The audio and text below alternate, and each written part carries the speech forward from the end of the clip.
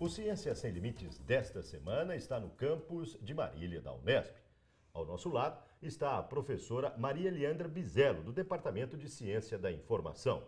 Professora, qual é a sua formação? Eu sou historiadora, fiz uh, história uh, na Unicamp, na graduação, né? Sou mestre e doutora em multimeios e fiz o pós-doutorado em ciência da informação uh, na Universidade do Porto, em Portugal.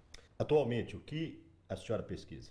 Uh, eu trabalho com memória e arquivos, no sentido de, de pensar como a, a documentação uh, produzida uh, tem um impacto na memória, né, como é que eles se relacionam.